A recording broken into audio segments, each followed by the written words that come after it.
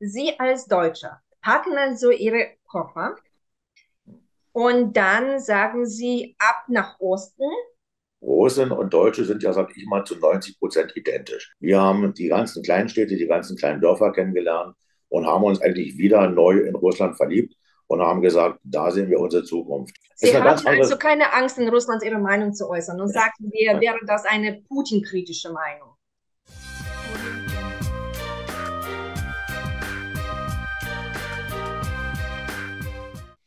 Also mein Name ist Wemer Kirsch, bin ehemaliger Unternehmer aus Deutschland, haben die letzten Jahre in Potsdam gelebt, hatte dort mehrere Firmen gehabt und wir haben uns irgendwann die Frage gestellt, wo wollen wir in Zukunft leben? Und äh, da kreist man immer mit den Fingern auf der Finger auf der Landkarte rum und wir sind immer wieder bei Russland zum Stehen gekommen. Man stellt sich ja die Frage, wie wird es in Deutschland sein, wenn wir alt sind?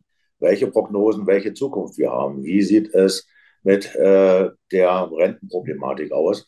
Und wenn man sieht, dass man in Deutschland per Gesetz altersarm ist, dann sagt man, das kann nicht die Zukunft sein. Energiepolitik. Wenn man guckt, wo jetzt äh, die Energiepreise insgesamt hingehen, wer kann es nachher noch leisten? Nahezu keiner. Wenn man guckt, wie die politische Entwicklung in Deutschland über die Jahre zu sehen war, sagt man klipp und klar, das will man nicht, das möchte man nicht mitmachen. Und wenn man im System selber nichts mehr ändern kann, stellt man sich die Frage, wenn ich es nicht, das System nicht ändern lässt, in welches System passe ich überhaupt noch rein? Und dann stellt man fest, dass man in Russland, zumindest die Deu Leute, die, ich sage mal, aus der DDR sozialisiert sind, sagen, Russland passt viel besser für uns. Wir gucken uns Russland genauer an. Wir haben Russland mehrfach bereist. Einmal eine Reise mit einem LKW durch ganz Russland durch mit einem alten Gas 66, haben die wirklichen Menschen und Leute wieder kennengelernt und nicht die Großstädte, nicht Moskau, nicht St. Petersburg, das ist das, was die meisten Leute nur kennen. Aber das ist nicht das wahre Russland. Wir haben die ganzen kleinen Städte, die ganzen kleinen Dörfer kennengelernt und haben uns eigentlich wieder neu in Russland verliebt und haben gesagt, da sehen wir unsere Zukunft. Und dementsprechend sind wir auch hier. Wie kann man sich das vorstellen? Sie als Deutscher packen also Ihre Koffer und dann sagen Sie ab nach Osten und dann stehen sie plötzlich an der Grenze hier. Wie, wie ist es eigentlich? Wie war so, wie waren so die ersten Tage, wie sie, als sie nach Russland gekommen sind? Also, sie sind mit ihrer Frau gekommen und ich glaube auch mit elf weiteren Menschen. Sie sind mit einer Gruppe von deutschen Bürgern nach Russland. So. Wir sind nicht exakt, wir sind nicht exakt am gleichen Tag alle. Mit mhm. uns zusammengekommen sind Bert und Petra. Wir sind vom Prinzip zum, Zeit, äh, zum gleichen Zeitraum raus. Und äh, sobald wir die Grenze passiert hatten, waren wir froh und erleichtert, endlich in Russland zu sein. Denn wir hatten das ja schon vorher probiert gehabt, durch die geschlossenen Grenzen und durch die Corona-Maßnahmen war Russland ja sehr, sehr lange geschlossen. Und da man mit Sorge immer auf Deutschland geguckt hat, was da gerade passiert, gerade was in dieser Corona-Diktatur gemacht wurde, ja, wie die Leute eingeschüchtert wurden, wie auf den Demonstrationen mit den Leuten umgegangen wurde. Es waren ja nur Polizeiprügeltruppen. Äh, Aber das berichtet gewesen. ja noch schlimmer. Man berichtet ja noch schlimmer über die gleichen Sachen in Russland. In Russland darf man ja auch nicht demonstrieren gehen. Und hier wird ja auf einen, wird man ja auch direkt verhaftet von der Polizei. Nicht sanft. Äh, man muss sich mal die Gesetzgebung angucken wenn man sich in Russland die Gesetzgebung anguckt und man begeht, äh, startet eine Demonstration, die nicht angemeldet ist, ist es eine Ordnungswidrigkeit. In Deutschland ist es eine Straftat. Das sind schon mal die zwei juristischen unterschiedlichen Herangehensweisen. Und wenn ich diese Strafe nicht zahle, steht da klipp und klar drunter, dass ich diese Tagessätze dann oder Absitz 30 Tage absitzen muss. Und das ist ja so bei einschlägigen Blockern, die durch die westlichen Medien immer getrieben werden, der Fall gewesen. Sie haben Stra also Demonstrationen gemacht, die nicht angemeldet waren. Dafür wurden sie sanktioniert, dafür wurden sie dann auch weggesperrt. Und das ist immer politisch ausgeschlachtet worden. Ich will jetzt da gar keine Namen nennen. Äh, jeder, der drüber nachdenkt, weiß die Namen, die man kennt. Ja, und Sie hatten also keine Angst, in Russland Ihre Meinung zu äußern und sagten wir, wäre das eine Putin-kritische Meinung? Äh, wir haben äh, letztens mit, was heißt letztens wieder, ja, zwei Monate her, denke ich mal, mit ein paar Freunden zusammengesessen, unter dem auch Russen, die auch Deutsch können, hervorragend Deutsch können. Und da kam dann irgendwann mal so die Frage, äh, gibt es eigentlich noch äh, freie Medien außerhalb Russlands? Wir guckten uns so gegenseitig an und dann kam fast einstimmig, nein. Mhm.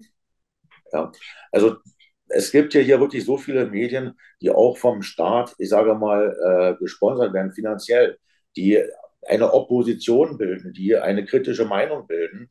Wenn man sieht, wenn man sich mal äh, die Reden von Putin anhört oder die Pressekonferenzen, was dort auf hier kritische, scharfe Fragen gestellt werden, das würde sich in Deutschland streckenweise keiner mehr trauen. Was, ähm, es muss sicherlich aber auch irgendwas geben in Deutschland, was Sie vermissen. Was wäre das? Leberwurst, die schmeckt und Brötchen. Und was, was ist mit dem bayerischen Bier?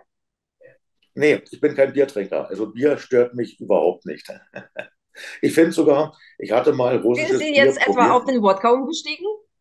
Ich habe früher schon mal ganz gerne Wodka getrunken. Ich In trinke sehr, ja, ich trinke sehr wenig Alkohol, aber dann gerne auch ein Wodka. Ich habe jetzt über Sie gelesen, dass Sie angeblich ein Dorf äh, aufbauen, sozusagen. Hm. was, was ist da dran? Habe ich das richtig verstanden? Wie ist das jetzt vorzustellen? Was, äh, was bauen Sie da auf? Es ist kein Dorf, es ist eine kleine Siedlung an einem Dorf in einem Dorf. Und wir wollen mit dem, ich sag mal, Siedlungsprojekt eigentlich das ländliche wieder mehr beleben. Und äh, Russen und Deutsche sind ja, sag ich mal, zu 90 Prozent identisch. Die restlichen 10 Prozent sind positiv. Äh, von den letzten 10 sind 50 Prozent positiv und 50 Prozent negativ. Und wenn man es schafft, ich sage mal, die positiven Sachen rauszufiltern, dann kommt man nahezu auf 100 Prozent und Perfektion. Wollen viele logischerweise nicht, schon historisch betrachtet. Und Russen und Deutsche ergänzen sich wunderbar. Die russische Gelassenheit und die deutsche Akribie vermitteln sich ganz wunderbar und am Ende kommen gute Ergebnisse raus. Denn ich sehe, wir haben, sag mal, durch den Fernsehbeitrag unheimlich viele Anfragen aus Deutschland, wo mir auch gesagt wurde, Remo, wir wollen unbedingt zu euch damit hin und wir möchten, sag mal, das sind ja russische Auswanderer gewesen aus Kasachstan, überall. Wir möchten ein gewisses deutsches Flair behalten, weil wir sind es gewohnt, dass verschiedene Sachen wie Pünktlichkeit, Akribie, Penible und so weiter, dass wir das weiter behalten wollen. Und äh, wir brauchen ja auch als Deutsche genau dieses Umfeld wieder, damit wir uns wohlfühlen, ja.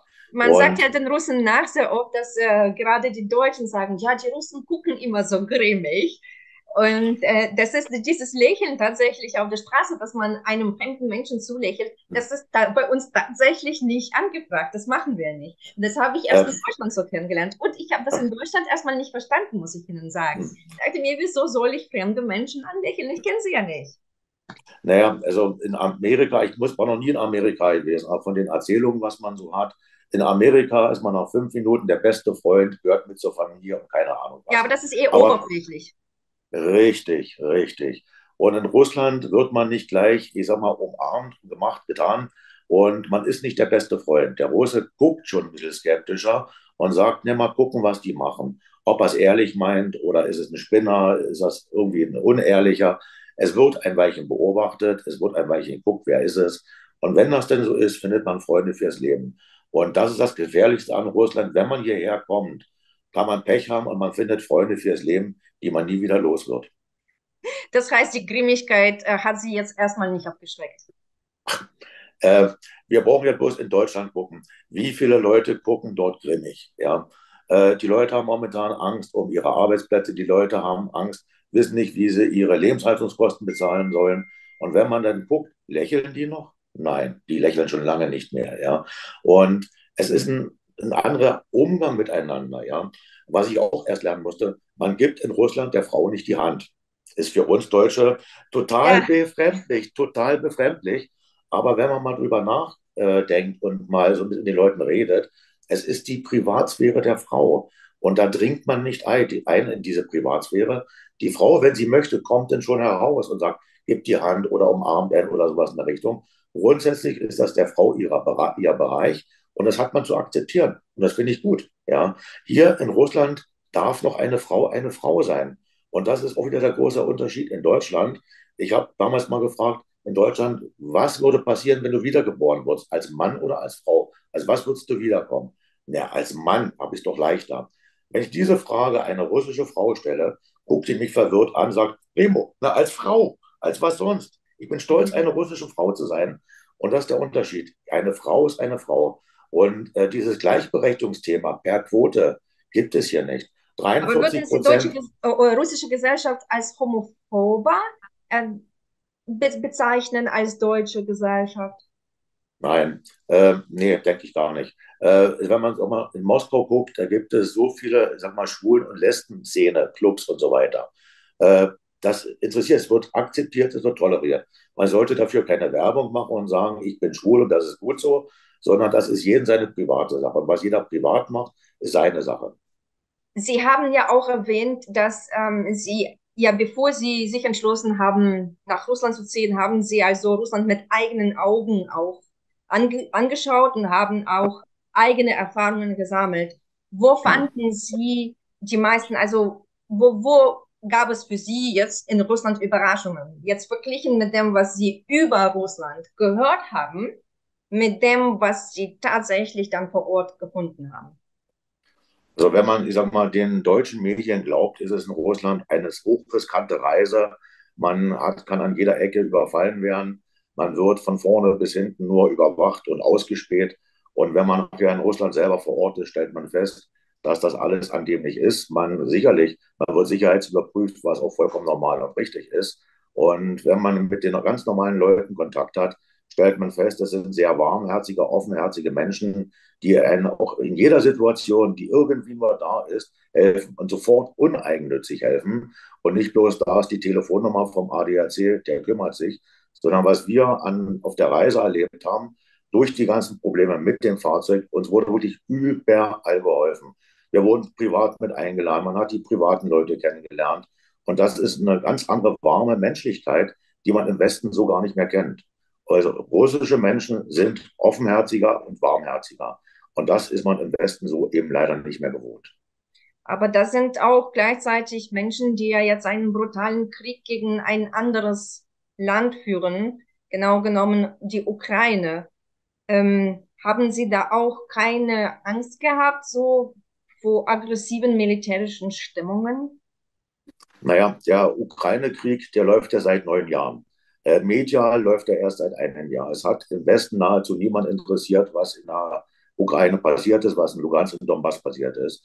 Es fand nur medial am Rande so ein bisschen Separatisten, Bürgerkrieg. Es gab, sagen wir mal, kaum Opferzahlen. Es wurde nicht groß darüber berichtet. Und erst nachdem jetzt vom Prinzip, ich sag mal, die Sonderoperation gestartet ist, oder man sagt ja, man darf in Russland nicht Krieg sagen, man darf in Russland Krieg sagen, seitdem Russland diesen Krieg beigetreten ist, ja, wird er medial ausgeschlachtet und wird praktisch Russland als der böse Blutrünstige hingestellt. Die Leute, die das alles in aller Regel behaupten, haben Russland noch nie persönlich kennengelernt, haben keine russischen Menschen kennengelernt.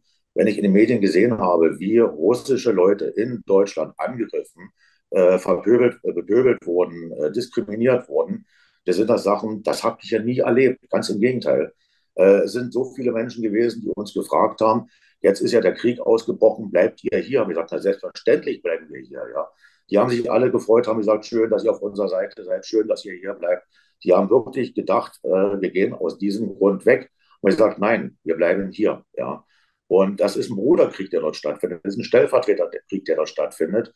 Und ich habe auch aus Russland noch nie einmal eine Stimme gehört, diese, auf gut Deutsch, scheiß Ukrainer. Nee, es wurde immer gesagt, es sind unsere Brüder, es sind unsere Schwestern, es sind unsere Arbeitskollegen, Studienkollegen. Mhm. Da war nie ein böses Wort gegen die Menschen, wenn gegen dieses politische System.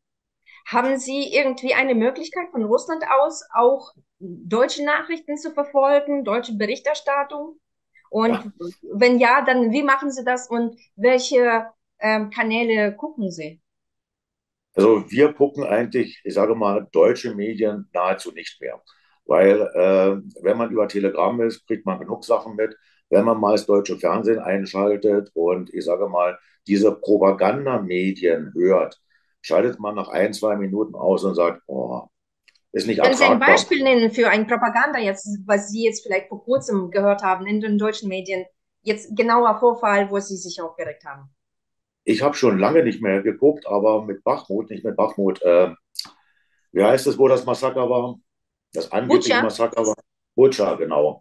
Es sind ja vorher durch die Medien genug Telegram-Kanäle, ich sage mal, auch von ukrainischer Seite verteilt, äh, geteilt worden, wie Polizeieinheiten durchgefahren sind, wie äh, die Stadt aussah. Und nachdem, ich sage mal, die Russen abgezogen waren, ich glaube, eine Woche später oder drei Tage später hieß es auf einmal Massenmorde, Leichen auf den Straßen. Und auf diesen Straßen gab es Videomaterial, was vorher eben diese Leiche nicht zeigte. Ja. Und dieses Thema Butcher ist ja jetzt aus den Medien auch nahezu verschwunden. Das war mal eine kurze Blase, die hochgekocht wurde, die medial auf den Titelseiten stand. Aber jetzt sieht man und hört man nichts mehr, weil man ja keine Argumente hat. Man braucht bloß gucken mit den ganzen Biowaffenlaboren, was da ist. Die Beweise, die geliefert werden, die werden nicht betrachtet, die, die werden ignoriert. Die interessieren niemanden. Es wird eine Behauptungszeile aufgestellt, ohne dass irgendein Argument kommt. Es wird einfach nur eine Behauptung im Raum gestellt. Was würden Sie den Menschen in Deutschland sagen, die die regierungsnahen Medien konsumieren in Deutschland? Sie sollen den Fernseher ausmachen, das Gehirn einschalten, das Auto volltanken, nach Russland fahren, sich die eigene Meinung bilden. Äh, wie hat auch ein Freund mal gesagt, äh, Reisen vernichtet Vorurteile. Und wenn man einmal hier ist und hier war, dann wird man zurückfahren und wird die ganze Geschichte, was dort medial verbreitet wird, richtig kritisch hinterfragen und sagen, das stimmt jetzt aber gerade nicht, was ihr so erzählt. Und nur wenn man ein Land kennt, man soll herfahren, angucken, eine Meinung haben und dann mitdiskutieren und nicht eine Meinung vertreten, die einem irgendjemand erzählt hat. Haben Sie auch vor, in Russland zu bleiben oder war das von Ihnen von vornherein so gedacht, dass Sie sagen, wir gucken das jetzt uns für ein paar Jahre erstmal an und dann ziehen wir sowieso nach, Russland, nach, nach Deutschland zurück, sobald es dort sich beruhigt hat? Ja. Also wir sind grundsätzlich hergekommen, um hier zu bleiben. Und wenn man auf unser Alltag guckt, können wir nicht sagen, wir springen mal so alle 10, 20 Jahre hin und her. Das ist einfach dann nicht mehr möglich. Aber was ist mit der ganzen Dem äh, äh Demokratie, wollte ich sagen? Nein, ich meine ähm, Bürokratie. Also wie ist es jetzt eigentlich? Sie müssen ja sich ein Visum beantragen, sie müssen sich ein äh, Arbeitserlaubnis holen und all diese Sachen. Ähm, wie schwer oder wie leicht ist das einem deutschen Bürger, wird das in Russland gemacht? Also leicht ist es definitiv nicht, ja. Es liegt aber hauptsächlich daran, weil es ist eine andere Bürokratie, eine andere Verfahrensweise und man muss sie erst kennenlernen. Dann kommt in aller Regel noch die Sprachbarriere zu, was es ja dann dementsprechend schwieriger macht. Wenn man Russisch gut kann und beharrlich ist, ist es ein normales Prozedere, was man durcharbeiten muss. Und ansonsten empfehle ich immer, man sollte sich eine juristische Begleitung, juristische Beratung nehmen, damit man eben Fehler vermeidet, ja. Denn auch in Russland gibt es manchmal eine Bürokratie, die nicht 100% sattelfest ist. Und das kann man vermeiden, indem man von vornherein gleich sagt, nee, im Gesetz steht das und das drunter und äh, bitte haltet euch daran oder guckt mal danach. Und dann geht das eigentlich alles normal. Es ist Fleiß und Beharrlichkeit. Also hier steht keiner und sagt, ach, willkommen ihr Deutschen, herrlich, dass ihr da seid und guck mal, da ist jemand, mit dem läufst du jetzt drei Tage mit und in vier Tagen mhm. hast du den russischen Pass. Funktioniert nicht.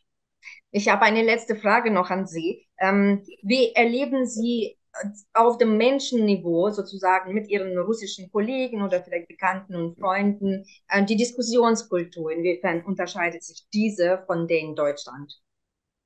Also hier ist es so, dass die Leute, ich sage mal, unterschiedlicher Meinung sein können, auch äh, lebhaft darüber diskutieren und trotzdem Freunde bleiben. Also hier ist die Gesellschaft nicht gespalten. Hier sitzen die Leute zusammen und tun kontrovers diskutieren, was gut ist. Äh, ich sage auch immer, die Russen sind etwas direkter, was ich persönlich besser finde, weil es wird nicht drumherum geredet und so schön getan und wir tun mal so auf Diplomatie. Nein, es wird klipp und klar gesagt, das stört mich oder das finde ich gut. Es ist direkter, aber ehrlicher. Und das ist gut so. So wie Sie sagten, in, äh, unter uns, äh, als wir miteinander geredet haben, dass Sie glauben, es könnte durchaus in einem Krieg alles enden. Ich bin da eher so, dass ich sage, zu diesem Zeitpunkt halte ich jeden Ausgang für möglich. Völlig jeden. Ja. Also ich würde da nicht sagen, oh, das ist vollkommen ausgeschlossen oder das, dieses Szenario ist vollkommen ausgeschlossen. Ich halte alles für möglich. Und das ist, ich hätte gerne so ein bisschen mehr ähm, Sicherheit für, dass, dass es Frieden einkehrt. Ähm, ich halte, ich sehe, ich sehe in der heutigen deutschen Regierung aber nicht diese Absicht. Sehen Sie diese? Ja, ne, sag mal so, bei der deutschen Historie, ja, äh, wäre es die deutsche Aufgabe gewesen, die Pflicht gewesen, immer die Vermittlerrolle einzusetzen. Nicht wie bei Minsk II, wie man im Nachhinein zugibt, dass es eine Lüge war, ein Fake war um Russland, ich sage mal, hinzuhalten, um die Ukraine aufzurüsten. Und wenn man wieder deutsche Panzer gegen Russland schickt, dieses Symbol sollten sich die Deutschen mal ganz genau überlegen, was das in den Köpfen der Russen für eine Wirkung hat. Äh, dieser Zweite Weltkrieg ist so vernichtend gewesen. Es sind aber Sie sind ja der Überzeugung, dass der Russe jetzt der Böse ist. Davor war der Russe das Opfer von der äh, hitlerischen Invasion sozusagen. Und diesmal ist es aber alles anders. Diesmal ist der Russe der Aggressor, der ein armes, unschuldiges Land Ukraine überfallen hat. In, in dem Sinne unterstützt ja, äh, kämpft ja oder schickt äh, Deutschland ihre Panzer ja für was Gutes diesmal. So, so ist, wird es ja angesehen. Ist Krieg was Gutes? Krieg war noch nie was Gutes gewesen. Krieg ist immer ein Versagen der Politik. Und man muss gucken, man kann. Aber diesen jemand, Krieg hat ja Putin angefangen, heißt es. Ja, der Krieg läuft ja schon acht Jahre zuvor. Ja, er wurde nur medial nicht ausgewertet oder aufgenommen aus dem Westen. In Russland war er präsent gewesen. Ja, und es wurde auch in Russland von vielen Menschen gesagt, warum reagiert Russland erst jetzt? Ja, und das ist ja auch ein Druck von unten ja. heraus gewesen, dass endlich reagiert wird.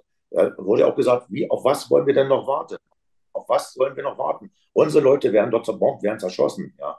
Es ist ja die, also vor dem Einmarsch wurde ja der Beschuss ein Vielfaches erhöht. Ja. Da sind ja Tausende von Granaten pro Tag eingeschlagen. Es wurden Minen hingeschossen, um die zivile Bevölkerung zu treffen. Und äh, wo reagiert man? Ab wann ist der Punkt, wo man verpflichtet ist, seinen Geschwistern zu helfen? Wo ist der Punkt? Das muss jeder für sich selber entscheiden. Ja? Und daher sagen viele Russen, wir hätten das viel, viel eher machen müssen. Ich kann es nicht entscheiden, ja. Aber wann es ein Punkt, ein Krieg zu führen ist. Krieg ist nie eine gute Lösung. Aber wenn ich jemanden immer wieder, sag mal, provoziere, immer wieder, ich sage mal, in die Ecke drücke, irgendwann wird jeder reagieren. Egal wie, egal wann. Ob das jetzt von dem anderen System gewollt ist oder nicht gewollt ist. Äh, ich denke mal, das ist ein Planspiel gewesen. Es ist ein Stellvertreterkrieg, der in der Ukraine stattfindet. Es ist kein Krieg gegen die Ukraine und schon gar nicht gegen die Bevölkerung, sondern es ist ein aufgerüstetes NATO-System, die Ukraine jetzt, wo gegen Krieg geführt wird. Wer hat denn die Versprechen alle gebrochen? Welche Verträge wurden alle von den Amerikanern aufgekündigt? Welche Zusagen wurden alle gebrochen? Wir brauchen noch über die Osterweiterung reden oder NATO-Erweiterung. Es sind doch alles Versprechen gewesen, die absolut nicht eingehalten wurden. Ab wann soll ein Land seine Souveränität praktisch verteidigen? Wenn die erste Atombombe. Und ich denke mal, das vorher ist immer dann der Punkt, wo man sagt, ich schütze mein Land, ich schütze meine Souveränität. Und hier ist der Punkt, ich habe lange genug gewarnt, ich habe gesagt, hört auf, erweitert nicht, rüstet nicht auf, schickt nicht weiter Waffen. Und dieser Punkt ist irgendwann überschritten. Und der wurde überschritten. Die roten Linien sind ja bewusst immer überschritten worden, damit bewusst auch dieser Krieg aus, ausbricht. Ist ja keine Überraschung. Wie erleben Sie Russland unter Sanktionen und unter den EU-Sanktionen? Ich zeige mal was, sieht man das hier? Äh, nee, sieht man jetzt nicht. Wollte gerade eine Zigarettenschachtel reinhalten, eine Marlboro-Schachtel. Äh, alles, was aus Amerika kommt, funktioniert hervorragend, in, inklusive, äh, ich sage mal, dieser Bezahlserien und, und äh, Filme. Alles kein Problem. Äh, es gibt alle Waren, egal was es ist, es gibt alle deutschen Waren. Nur weil sie jetzt über Drittstaaten laufen, sind sie etwas teurer. Aber muss ich was aus dem Westen haben, wenn ich das gleiche Produkt hier finde und günstiger ist? Brauche ich nicht. Die Deutschen haben sich, egal was in der Fahrzeugindustrie, so selbst ins Knie geschossen. Diese Lücken, die sie gerissen haben, waren nicht wirklich wichtig. Sie wurden sofort durch andere Firmen, durch russische Firmen oder chinesische Firmen ergänzt und geschlossen. Es gibt alles. Heißt nur anders, aber es ist streckenweise eine bessere Qualität. Alles klar. Dann bedanke ich mich, äh, Herr Kirsch, auf jeden Fall und hoffe auf ein nächstes Mal. Ähm, vielleicht sogar Ich bin da. Steht, steht, steht da hinten dran. Ich bin da. Sehr gut.